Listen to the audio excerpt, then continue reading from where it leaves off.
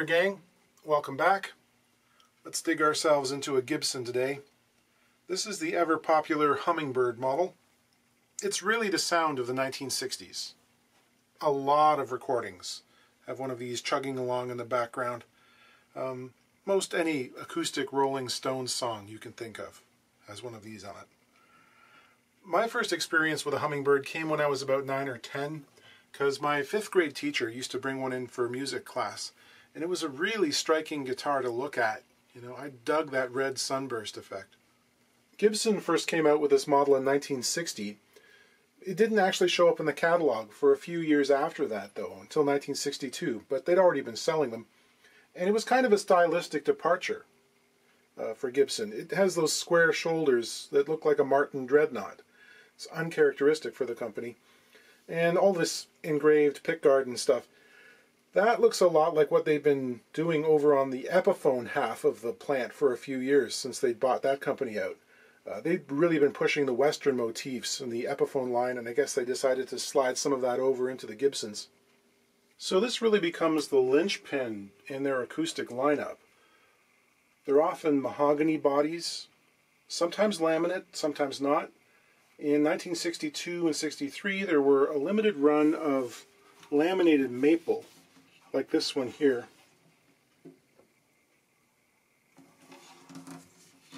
They all have the adjustable saddle, either ceramic or rosewood, and they have the three-ply laminated bridge plate under the bridge. Yeah, so the adjustable saddle and the plywood bridge plate, they have a distinctive sound. Um, there's just a lot of barriers in between the vibrations of the string and the soundboard it's not the most acoustically efficient design, put it that way. It's often kind of a scooped tone, which does tend to behave very well with other instruments in a recording mix, which is part of the reason these got very popular. Uh, I think personally they sound better if you get rid of the adjustable feature, but that's not something you would do if you've got one that's vintage and in good shape.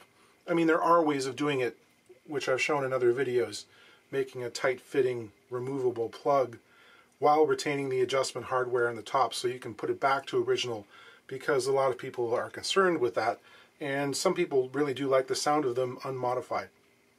This one has had a neck reset. The heel fits pretty well. There is some polishing compound residue down in the corner there, white stuff. It's not cocaine. The action here is acceptable-ish. Uh, Right now it's a little over 7 64ths on the bass side, 6 on the treble, which is about 110 thousandths, 2.8 millimeters. So it could come down a little bit. The neck relief is in the range of about 14 thousandths at the 6th fret, which again is a little more than I'd usually like to see. So we might adjust the neck a bit. And these again are some fretless wonder frets, very wide and very low. Average height is just over half a millimeter, 20 thousandths of an inch. And they could really use uh, good cleaning. They're pretty dirty. So the real reason it's here today is after the neck reset, the fingerboard extension, which is this part that rides over the top, was glued right back down again and the drop off is very noticeable. Sometimes, you know, this can cause issues around the neck to body joint because you're putting a pretty big kink into the fretboard there and it can loosen or raise or do other funny stuff to the frets in that area. And the other thing it does is it really draws your eye. You know, you look down at that and all of a sudden you don't feel quite so confident in the guitar. It's a visual distraction. I mean, functionally, nobody plays up here. This is really mostly a cosmetic thing in this case. Well, usually. Sometimes the degree of dip can mean structural issues with the soundboard with that plywood bridge plate and the reverse belly bridge, there's a lot of forward roll in some of these soundboards. A little bit is almost inevitable. This one does have some dip around the sound hole, but it's not too extreme. Now there is some funny stuff with this guitar. It's missing the label. That's not unheard of. You know, the adhesive wasn't great. It's basically just a sticker, and if it was kept in a pretty humid place for a while, sometimes they just roll up and go away. The serial number is stamped up here on the back of the headstock in the usual location. I looked it up and I found different conclusions on different sites. It seems like it might be 1963. However, the nut width on this is very puzzling. Um, they supposedly started off at 1 and 11 sixteenths, pretty typical. Then in 1965, they were supposedly reduced in width to 1 and 5 eighths. However, this guy here is thinner than that still. This is a super trim 1 and 9 sixteenths. This is about as narrow a neck as you're going to find. Next up, the pick guard. If this guitar is from 1963, this might not be the original guard? Question mark, question mark. Because they didn't screw them down until later in the decade. This one isn't screwed down, but it has little glass crystal things, almost like fake diamonds, rhinestones or something, that have been put into the screw pockets on this guard and in the bird's eye there. So this might be an elegant way of covering up the unused screw holes in a replacement guard. And there are no screws or holes extending below in the, on the interior of the soundboard, like you might find on some of the later Norlin era Gibsons. This thing is, well, dating these guitars by features alone can be really hit and miss because they weren't always consistent from year to year, and you're basically at the mercy of what others have determined and posted online previously. And so there's often contradictory info out there. You can find real experts who have handled a thousand of them who can probably tell you more than I can. So I am assured that this is from the 1960s. Um, who knows, maybe the guard fell off or turned into a potato chip or cracked or something. And as for the neck, well, that's a real puzzle. These are the kinds of things we can't know. At the end of the day, I just have to fix this thing and make it work for the customer. You can see there's some tiny gaps and some glue that's been pushed into the crack that's formed right at the corner here between neck and body. When you're doing a neck reset, that's the kind of thing that often happens. If the body has sort of humped up a little bit, there's usually nothing you can do to prevent that except for fill it. Um, kind of things I'll keep in mind when I'm loosening this portion of the fingerboard though. Before we go any further, I'd like to also try and adjust the truss rod to get that neck a bit straighter so that I'll know the approximate geometry we're going to end up with when we're done here. Um, that'll keep me from perhaps making a wedge that's too tall at the far end. I'm just going to tighten this up a little bit. Yeah, there's plenty of adjustment in there. I suspect that'll be good. Okay, that adjustment has brought us down to about 8 thousandths relief, which I think is good, and it still plays cleanly. So, it also brought the action down about half a 64th. Okay, I got my heater out here. I'm going to use moderate heat, around 250 degrees-ish. Uh, because I've got the pick guard right there, I don't want to take that off if I don't have to. This board is bound in celluloid. Neither of these things likes to be exposed to extremes of temperature. Um, so, you know, when this is happening, I'm not going to go anywhere. I'm going to stand here, watch it every second of the way. And uh, it'll probably take the better part of 15 minutes to heat up to the point where I can get my palette knife under it. You know, I've got a piece of plastic here which sort of helps me uh, when I'm trying to lever under the board a little bit. It just, you know, prevents me from digging into the soundboard.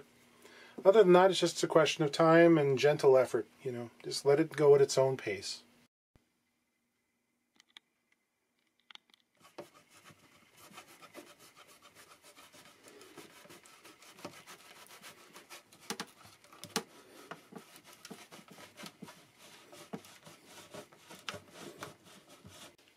Hey, this is a piece of Hollywood.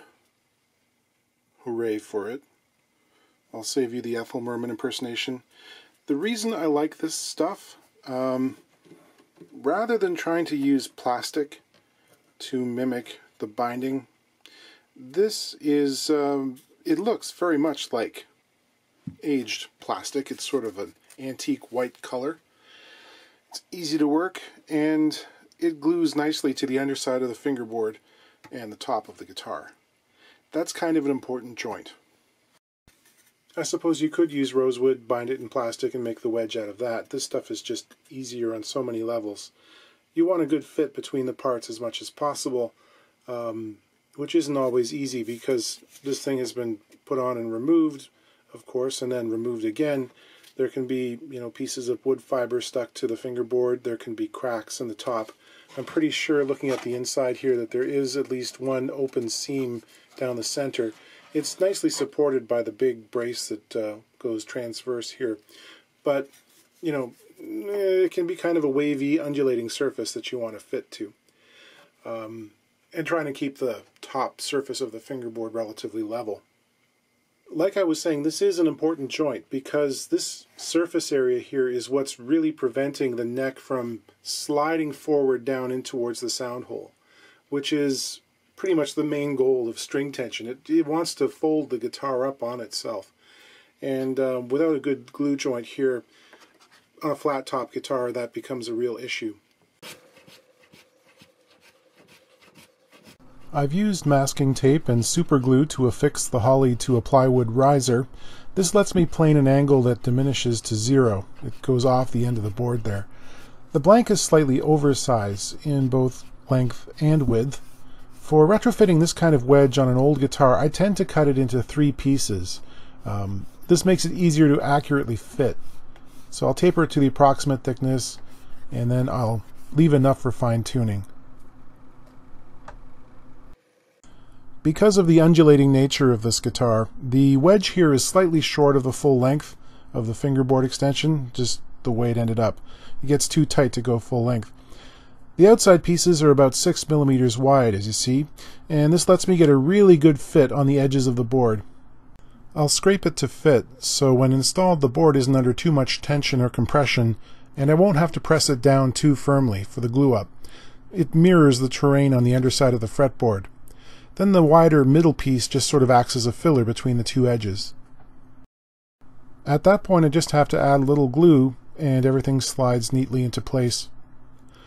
The little bit of extra width can be carefully sliced away, making sure not to cut into the soundboard. Because it's been nicely fit, it doesn't take much pressure to get the extension clamped down. I have a padded caul on the inside as well to protect the soundboard. Here's the result. The board now continues in a straight line with just a hair's worth of fall away. And the edges of the binding still have some of this grungy looking stuff on them which I want to clean away.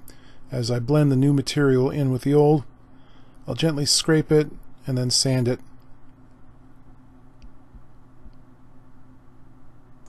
I'll apply a little bit of touch-up lacquer on the raw wood of the wedge. Then I'll mix in a little bit of amber dye to give me an aging solution and I'll try and take away some of the stark whiteness. This mimics the rest of the severely yellowed lacquer on the rest of the binding. While that cures up a bit, I'll tackle the frets. These began life with a very flat kind of profile, as Gibson just leveled them and then rubbed over the corners with a sanding block.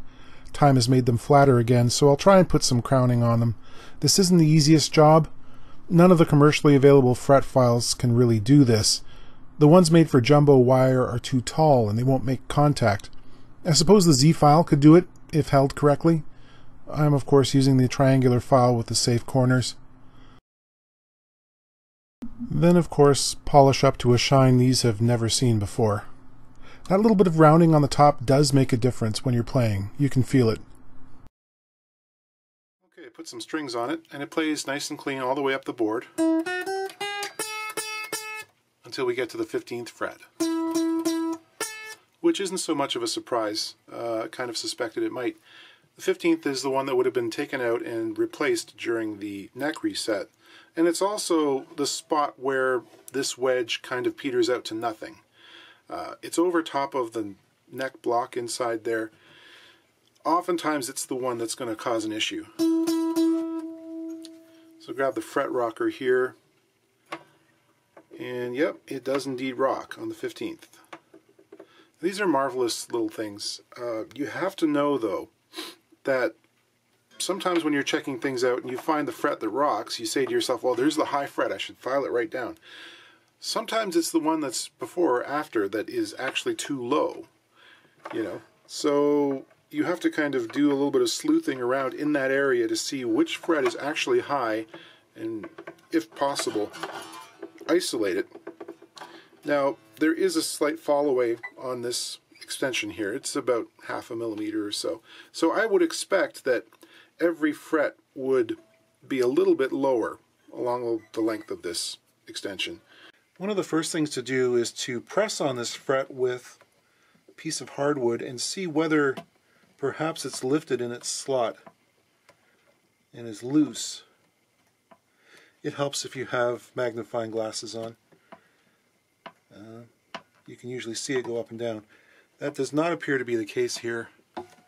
If it was, uh, if it was loose in the slot and you tried to level it, it's kind of an exercise in futility because you can press it down while you're leveling it and it'll pop right back up again, um, giving you a never-ending series of headaches. But it seems to be okay. Um, so it's probably just raised. You might be asking, why isn't he using one of those understring leveler gizmos that guide off four or five frets and make things really flat? The answer is, again, that gentle hill analogy. All of these higher frets are sloping downwards, and the preceding ones are on an uphill swing due to the neck relief. And if I scrub them all down to the same level, I might overshoot, and I'd certainly take more height off than I need to. And with these low, wide frets, there's not much there to spare, right?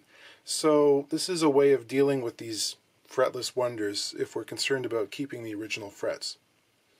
Um, so it's it's intuition and experience, and I kind of know how much to take off at any one time.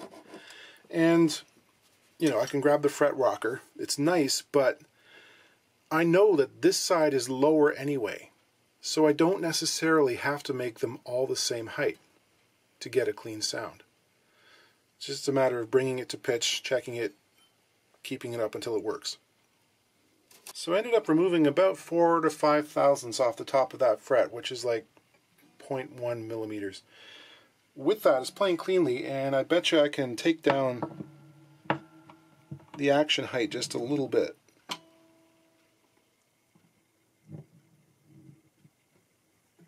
Let's see how that plays course, after leveling, I've got to go back and recrown this thing again, which is only half a millimeter tall, remember.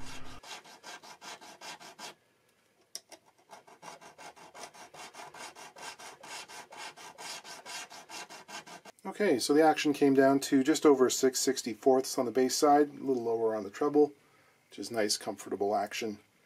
And yeah, I think the wedge is suitable. It's ready to go for another 50 or 60 years. You'll probably need a fret job before then, but otherwise, it's in good shape.